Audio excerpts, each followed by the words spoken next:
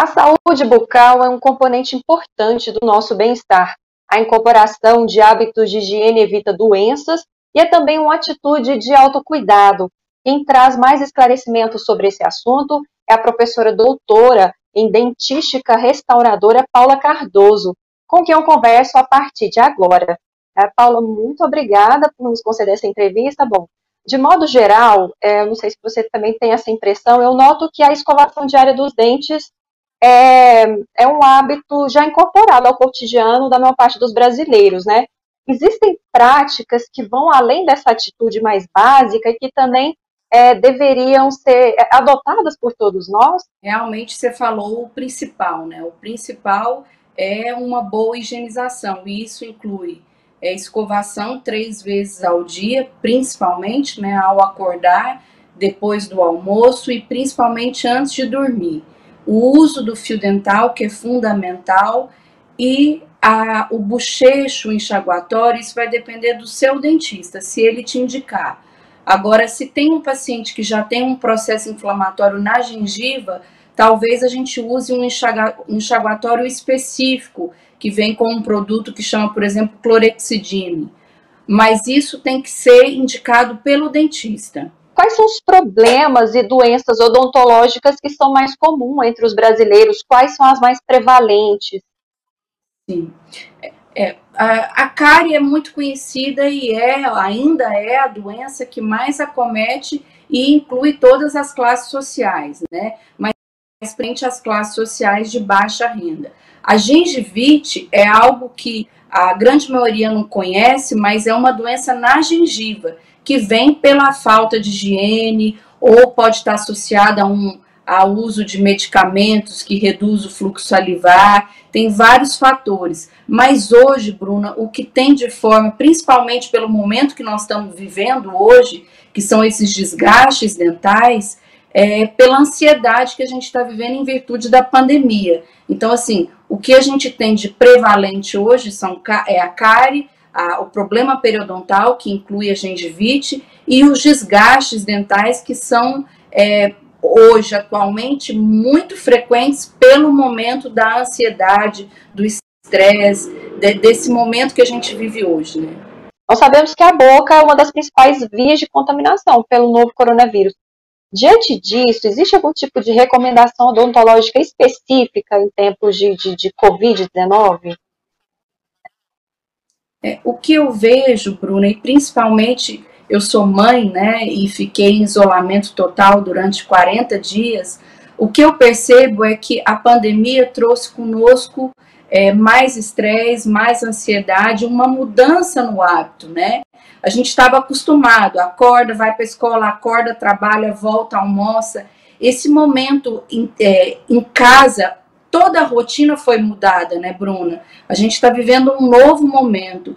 E isso muitas vezes leva a gente a dormir muito tarde, acordar muito tarde, perdeu-se os hábitos. E isso, com isso, gerou o quê? Não escova o dente na hora certa, come muito, por quê? Porque está em casa, então mudou até a alimentação. Ou seja, toda hora tem fome, que está ligada à ansiedade, que está ligada ao estresse. E isso leva, consequentemente, uma deficiência nessa higienização, um consumo mais alto de açúcar, por exemplo, e tudo isso pode gerar um processo carioso e nesse caminho, né, mais placa, mais, mais processo carioso, mais gengivites, pela deficiência, principalmente na escovação. Ou seja, são ah, processos anteriores, são questões muito mais emocionais que acabam se refletindo né, na nossa saúde bucal. As pessoas estão no momento de alto estresse, alta ansiedade e expectativa que acabe logo, né? Tudo e os, eles sofreram muito por esse, nesse período, está sofrendo, né?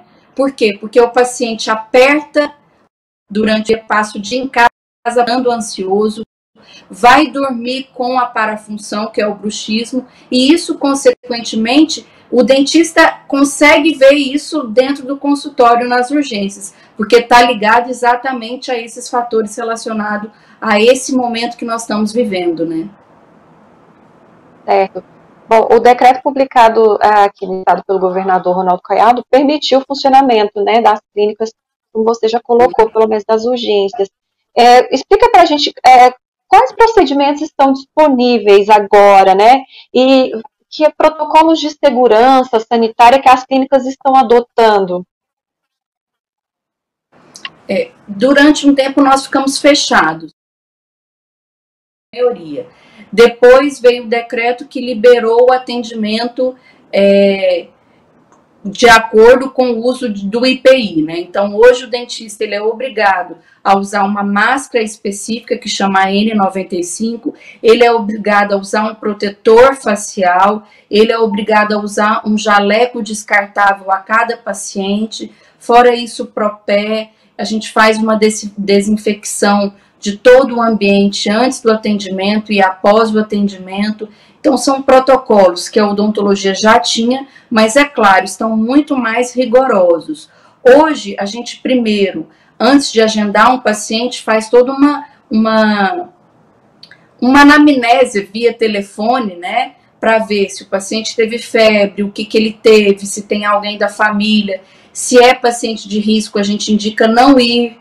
Ou seja, é um momento que precisa ter cuidado, né, Bruna? A gente está atendendo os pacientes que estão fora do, do grupo de risco e que têm realmente a necessidade desse atendimento, né? Uhum. Doutora, pessoas que é, comprovadamente estão contaminadas pelo coronavírus, elas devem mudar o hábito de rotina de higiene, de escovação, adquirir novos hábitos? Como é que fica essa questão? Não, é, é, é, é o que é comum, né? Que é a escovação, o fio dental e, se for necessário, a gente pode incluir um enxaguatório para facilitar, né? Mas se for um paciente, eu estou dizendo paciente que está em casa, né? Esses pacientes que estão internados, hoje existe um decreto que deve ter dentistas nesses hospitais que têm UTI, né? Por quê? Porque a odontologia, a boca, né? Ela é um, um canal para levar essas infecções. Isso é um grande ganho para a odontologia. Hoje, o CFO conseguiu, né? que em todos os hospitais tenha um dentista para ter esse atendimento nas UTIs. Isso é muito válido, né, Bruna? Por quê? Porque são pacientes que realmente precisam manter dentro do hospital a boca limpa, porque a boca é, pode ser um foco de infecção para o organismo como um todo, né? Uhum as equipes médicas que estão lá nesses ambientes de UTI nem sempre teriam o cuidado necessário para tratar da boca desse paciente, então precisam de um odontólogo. É, com certeza. Certo, certo. Com relação aos cuidados diários que a senhora estava mencionando antes, com relação às crianças, muda alguma coisa? A manutenção é a mesma? As crianças, assim, o que eu percebo, é principalmente porque eu tenho filhos, né, um de 15 anos e um de 10 anos, que eles esquecem de escovar os dentes nesse momento, né, Bruna? Porque como é, realmente eles esquecem, eles sentam para tomar café sem, sem escovar os dentes, e a gente pergunta, escovou os dentes? É, não, esqueci. Por quê? Porque mudou completamente a rotina, né? Então, os cuidados são os mesmos, mas o que eu penso é que os pais devem estar mais atentos nessa cobrança, por mais que sejam filhos que já têm uma certa independência, por exemplo, os meus, né, que são adolescentes, é importante é, manter essa cobrança com mais frequência, o que a gente já não, não fazia, porque já tem uma certa independência. Porque como mudou o hábito, a gente tem que reforçar a importância dessa escovação e do uso do fio dental diário. Né? Paulo, eu já estou encaminhando para o final da entrevista algo que, que, que, você queira destacar, alguma coisa que a gente não abordou, algum assunto que seja relevante? É, Bruno, o que eu vejo é que com a pandemia, o uso das máscaras, né, a gente percebe um maior número de pacientes queixando sobre o mau hálito, que também tem uma denominação de halitose, né? Para nós dentistas, o termo específico é halitose. Então, talvez esse paciente que tem esse mau hálito, ele pode estar sentindo mais porque a máscara está tá fazendo com que isso aconteça. Mas nós temos cinco fatores que pode levar a esse mau hálito. Primeiro é o que a gente falou quase em toda a entrevista, que é a escovação e, e deficiente o não uso do fio dental. Esse é o primeiro ponto, porque isso vai causar gengivite, que é a inflamação gengival, e pode provocar um processo carioso. O segundo ponto é, o, é a, a frequência de ingestão de alguns alimentos, como ovo, peixe, comida muito apimentada, muito queijo, tudo isso pode levar um, uma maior halitose. Terceiro ponto é o alto consumo de açúcar, que também está ligado à halitose. O quarto ponto que eu vejo importante a gente dizer é em relação à forma como se respira. O ideal, Bruno, é sempre respirar pelo nariz, mas tem pacientes que respiram pela boca. Então, se ele respirando pela boca, durante a noite a gente tem uma redução desse fluxo salivar. Então, quando ele acorda, ele tem muito mau hálito. Por quê? Porque ele já dormiu de boca aberta e ainda teve o período noturno sem o fluxo salivar. Então, isso corrobora para ter mais mau hálito. E o quinto ponto é o uso de medicamentos. Eu acho que eu falei isso no momento anterior da entrevista, mas o estresse, a ansiedade, é, esse estresse, a ansiedade gera é, pessoas com maiores problemas emocionais, né, Bruna? Síndrome de, do pânico, depressão, e isso acaba sendo associado com algum medicamento. O médico passa algum medicamento. E alguns desses medicamentos reduzem o fluxo salivar. E essa redução do fluxo salivar pode sim aumentar a litose. Então, são cinco pontos importantes que eu vejo importante a gente reforçar, né? Se você conseguir equilibrar esses cinco pontos, talvez você não veja com tanta frequência esse mau hálito, né?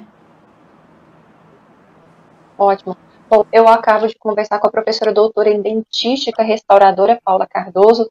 Paula, novamente eu reforço, muito obrigada por nos conceder essa entrevista. Agradeço. Obrigada, Bruna. Bom trabalho, viu? Um abraço a todos e que a gente possa sair desse momento de uma forma mais leve. Obrigada. Ótimo, nós que agradecemos, bom, é, acompanhando a nossa programação.